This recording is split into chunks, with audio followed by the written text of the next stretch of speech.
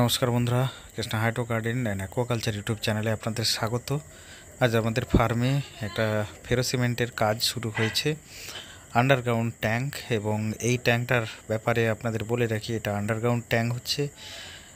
Underground করার এই কারণ কারণ এর ওপরে আমরা অ্যাকোপনিক সেট লাগাবো যেটা ডবল লেয়ারে হবে। যে কারণে আমাদের ট্যাঙ্কটা আন্ডারগ্রাউন্ড করতে হয়েছে। তো ফেরোসিমেন্ট করার মজাটাই এইরকম আহ, খুব সস্তাতে এবং মজবুত এবং টেকসই একটা স্ট্রাকচার বানানো যায়। তো কীভাবে আমরা বানিয়েছি? প্রথমে আমরা মাটি খুঁড়ে নিয়েছি। মাটি খুঁড়ে নেওয়ার পরে সেখানে মাটিটাকে ড্রেসিং করে নিয়েছি। আর এদিকে কিছুটা দু ফুট মতো নিচু অংশ আপনারা যেটা দেখতে পেলেন, ওটা কিন্তু ফিল্টারিং ইউনিট হবে ওদিকে। আর এদিকটা থাকবে ফিশ ট্যাঙ্ক। এরকম ট্যাঙ্কিটা ঠিকভাবে ছেটে নেওয়ার পরে, পরিষ্কার করে নেওয়ার পরে তলাতে আমরা একটা ঢালাই যে প্লাস্টিক সে প্লাস্টিক বিছিয়ে দিয়েছি। সেই প্লাস্টিকের পরে একটা লেয়ার আমরা চিকেন মেস বিছিয়েছি। চিকেন ম্যাশ বিছিয়ে চিকেন ম্যাশটা ঠিকঠাকভাবে প্লেস করার পরে সাইডটা আমরা কিন্তু আবার একটা মেশ দিয়েছি, যেটা হচ্ছে অ্যালুমিনিয়ামের মেশ দিয়েছি। এই অ্যালুমিনিয়ামের মেশ দেওয়ার কারণ হচ্ছে অ্যালুমিনিয়ামের মেশ কিন্তু চিকেন মেশের থেকে অনেক বেশি টেকসই এবং স্ট্রাকচারটা ভালোভাবে দাঁড়াতে পারে। মানে এখানে সাপোর্টিং খুব বেশি দরকার হয় না। বিনা সাপোর্টেই কিন্তু এটা ভালোভাবেই থাকতে পারে। ফলে আমরা যখন মশলা ধরাবো এতে বালি সিমেন্ট এতে যখন ধরানো হবে, তাতে কিন্তু খুব ভালোভাবে এটা ধরবে, এদিক ওদিক হেলে যাবে না। চিকেন ম্যাশ দিলে কিন্তু ভালোভাবে কিন্তু সাপোর্ট দিতে হবে, রড বা বাঁশের যাই হোক, এটা সাপোর্ট দিতে হয়। তো সেই সাপোর্টটা কিন্তু আমরা এখানে অতটা দেব না। আমরা যতটা আন্ডারগ্রাউন্ড হচ্ছে, আমাদের এটা কিছুটা আন্ডারগ্রাউন্ড থাকবে, কিছুটা ওভারহেড থাকবে ওভার দ্য গ্রাউন্ড থাকবে। তো টোটাল হাইট হবে তিন ফুট তার মধ্যে মোটামুটি দু ফুটের কাছাকাছি মাটির তলাতে থাকবে, এক ফুট মতো ওপরে থাকবে।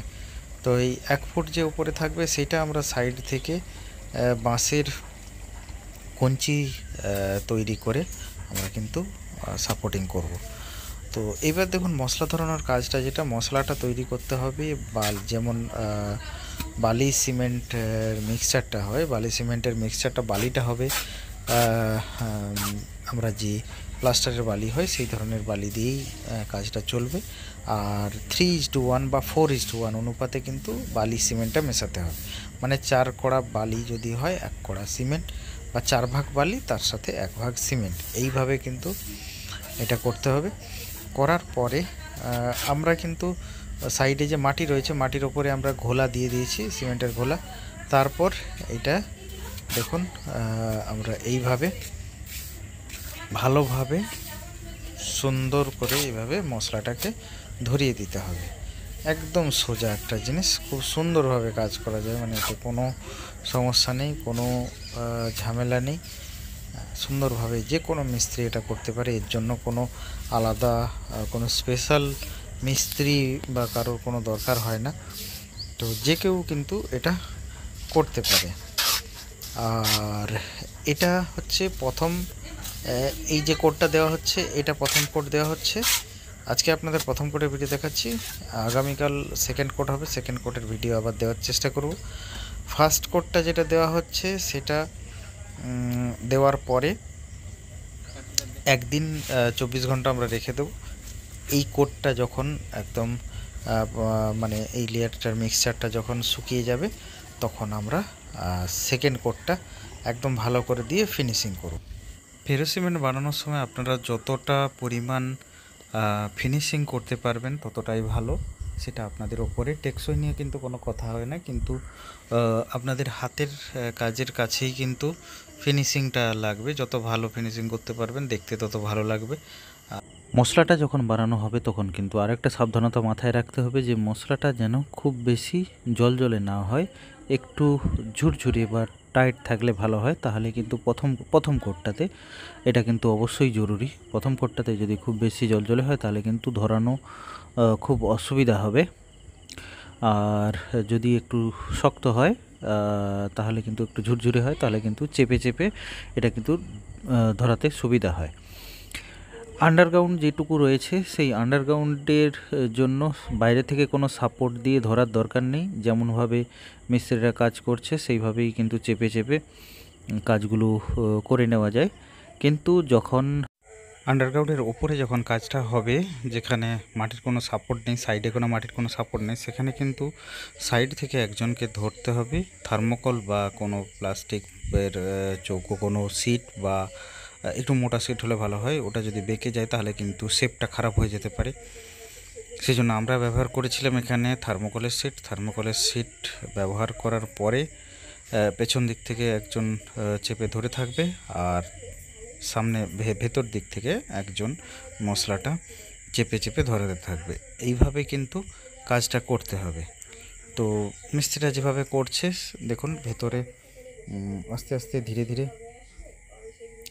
টাইম ল্যাপসের মাধ্যমে আমি ভিডিওটা আপনাদের দেখাচ্ছি। আস্তে আস্তে কাজ হচ্ছিল। তো এইভাবে কিন্তু কাজগুলো করতে হয়। খুব সহজ একটা কাজ। যে কাজটাতে সেরকম কোনো স্কিলের দরকার হয় না। মানে এমনি আনস্কিল কোনো মিস্ত্রি কিন্তু এই কাজটা অনায়াসেই করতে পারে। তো সেক্ষেত্রে এটা নিয়ে কোনো ই করা দরকার নেই যে একজন খুব ভালো ও কোনো স্পেশালাইজড মিস্ত্রি হতে হবে, এরকম কোনো ব্যাপার নেই। তবে যত কাজ করবে, কাজ করতে করতে কিন্তু অভিজ্ঞতা বাড়বে। আর এই সম্পর্কে, এই বিষয়টা সম্পর্কে আমি যতদূর জানি নাইনটি নাইন কেন হান্ড্রেড পারসেন্ট মিস্ত্রিরাই কিন্তু এই বিষয়টা নিয়ে অবগত নন, জানেন না। তো সুতরাং তারা কিন্তু এই জিনিসটা করতে চাইবে না, তাদেরকে ভালোভাবে বোঝালে বা করালে। তারা হয়তো করবে, কিন্তু অতটা কনফিডেন্ট হবে না। কিন্তু একটা দুটো কাজ করার পরে কিন্তু কনফিডেন্টটা চলে আসবে। এই দেখুন পেছন দিক থেকে একটা থার্মোকল দিয়ে একজন চেপে ধরছে, আর সামনের দিক থেকে মশলাটাকে কিন্তু এইভাবে চেপে চেপে ধরানো হচ্ছে। তারপর থার্মোকলের অংশটুকু ধরানো হয়ে যাওয়ার পরে আস্তে আস্তে ওটাকে সরিয়ে দিতে হবে। তো এইভাবে কিন্তু আস্তে আস্তে ধীরে ধীরে কাজগুলোকে করতে হবে। এটা কিন্তু করতে বেশি সময় যায় না। একটা ট্যাঙ্কি দুদিনেই আমাদের ফিনিশ হয়ে যাবে। প্রথম কোট আমাদের হয়ে গিয়েছে। মেঝেটা করা হয়নি। আগামীকাল আমাদের মেঝেটা হবে। মেঝেটা আর সাইডের যে কাজটা হয়েছে সেটা লাস্ট ফিনিশিং মানে যেটা প্লাস্টার নেট বলা হয়, সেই প্লাস্টার নেট হবে। এখানে মূলত প্লাস্টার নেট বলা যায় না। মোটামুটি একটা ভালোভাবে একটা কি বলা যায় যে মশলাটা, যে মানে যে ফিনিশিং মানে একটা ফিনিশিং করে দেওয়া যাকে বলে। এখন প্রথম অবস্থাতে তো ফিনিশিং তো ঠিকভাবে হয় না। তো কালকে সেকেন্ড কোটিংয়ের সময় যেটুকু যে ফাঁক ফোকর থাকবে বা উঁচু নিচু এরকম অংশ থাকবে, সেগুলোকে আস্তে আস্তে ফিনিশিং করে শেষ করে দিতে হবে। আর ফেলোসিভেন টেকনোলজি নিয়ে কিন্তু আমরা অনেক কাজ করেছি। এই রাউন্ড ট্যাঙ্কে সবচেয়ে ভালো দুর্দান্ত কাজ করে। আর চৌকো ট্যাঙ্কের ওপরেও ভালোই কাজ করে। চৌকো ট্যাঙ্কে তবে একটু সাপোর্টটা ভালো দিতে হয়। কিন্তু রাউন্ড ট্যাঙ্কে সাপোর্ট খুব অল্প হলেও কিন্তু চলে যায়। আর আমরা কুড়ি হাজার লিটার পর্যন্ত আমরা ট্যাঙ্ক বানিয়েছি। কিন্তু ভারতে যে রেকর্ড আছে দেড় লাখ লিটার পর্যন্ত এই ফেরোসিমন টেকনোলজিতে ট্যাঙ্ক বানানো হয়েছে। দেখুন কীভাবে কাজটা করানো হয়েছে। আমি একটু জুম করে ভালোভাবে দেখাতে, বোঝাতে চেয়েছি। নেটের ওপরে আস্তে আস্তে করে এইভাবে মশলাটা ধরবে যাতে ধরে যায়। আর কিচ্ছু করার দরকার নেই। একদিন থেকে যাওয়ার পরে এটা মশলাটা যেই জমে যাবে, পরের দিন কিন্তু এটা প্লাস্টার করার বা সেকেন্ড কোটিং মারার জন্য কিন্তু উপযুক্ত হয়ে যাবে। তখন আর কোনো সমস্যা হবে না। প্রথম দিনটাই একটু মশলাটা ধরাতে অসুবিধা হয়, সেই জন্য পেছন দিক থেকে একজন থার্মোকল দিয়ে ধরবে। আর ধীরে ধীরে সামনের দিক থেকে কিন্তু এইভাবে চেপে চেপে বসাতে হবে। তো আমাদের আজকে ওয়েদার কিন্তু খুব একটা ভালো ছিল না, সেই জন্য উপরে তারপরে টাঙিয়েই কাজ শুরু করা হয়েছিল। তো যাই হোক, মোটামুটি প্রথম দিনের কাজটা শেষ হয়ে গিয়েছে। দ্বিতীয় দিনের কাজটা কি কেমন হয় সেটা আপনাদের অবশ্যই দেখাবো। আর দ্বিতীয় দিন একদম পুরো ফিনিশ হবে। আর তারপরে ফিনিশ হওয়ার পরে আমরা এই ওইদিকে যেটা দেখতে পাচ্ছেন যে গর্ত অংশটা রয়েছে, ওটা কিন্তু ফিল্টারিং ইউনিট হবে। তো ফিল্টারিং ইউনিটটা কীভাবে লাগানো হবে সেটাও কিন্তু আপনাদের দেখাবো। ততক্ষণ পর্যন্ত সবাই ভালো থাকুন, সুস্থ থাকুন। জয় হিন্দ, জয়